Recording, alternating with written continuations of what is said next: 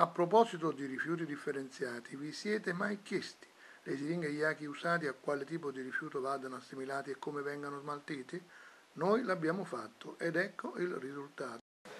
Dove smaltisce le siringhe vuote una volta che lei ha fatto un'iniezione? Nella spazzatura. Sì, ma l'altra l'altra immondizia. Nella plastica, spazzatura. In farmacia, dove stanno il, lo, sca, lo scaffale dei tunneli medicinali. Eh, Da spazzatura. Nella spazzatura.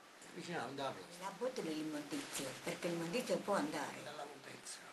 Dentro la busina e la butti dentro la muntezza. Ma è un modo di smaltimento corretto? Lo chiediamo agli esperti. Sono rifiuti pericolosi che devono essere raccolti e smaltiti applicando precauzioni per evitare infezioni.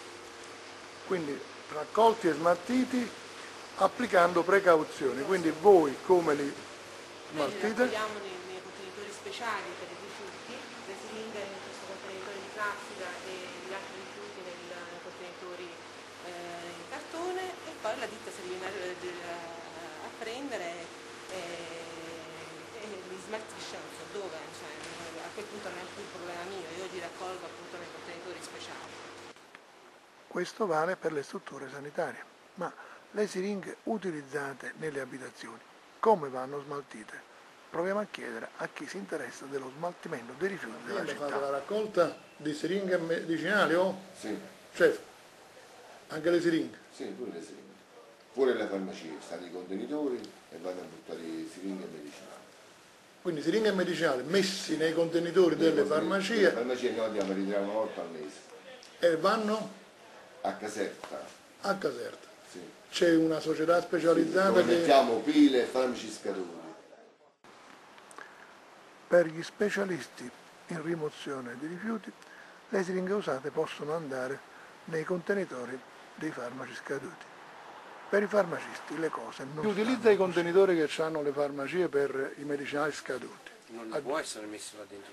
Sono rifiuti pericolosi, è diverso dal farmaco. Sono considerati rifiuti pericolosi. Sì.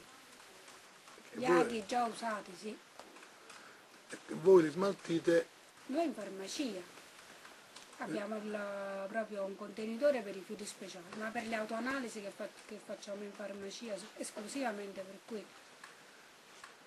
eh, nelle abitazioni. nelle abitazioni dovrebbero metterli a parte e poi al limite mettere nei, ma manco nei contenitori farmaci. Non, non, non me ne è mai venuto nessuno a consegnarmi aghi usati da poter smaltire, anche perché poi non è una cosa che compete a noi. Dunque si tratta di rifiuti pericolosi che non possono essere smaltiti insieme ai farmaci scaduti. Ma quante siringhe utilizzate si consumano ogni mese? Statisticamente in un mese Potrebbe essere intorno ai 700-800. 400. Dunque parliamo di una media di 600 siringhe d'aghi usate. Considerando che ad Aversa ci sono 14 farmacie, il numero complessivo sale a 9.000. 9.000 siringhe d'aghi usati, considerati per legge rifiuti pericolosi da smaltire in maniera particolare, che invece vengono smaltiti in gran parte tra i rifiuti ordinari, creando un problema che non è solo di Aversa. Come risolverlo? Basterebbe installare in città dei contenitori destinati a ricevere siringhe d'aghi usati.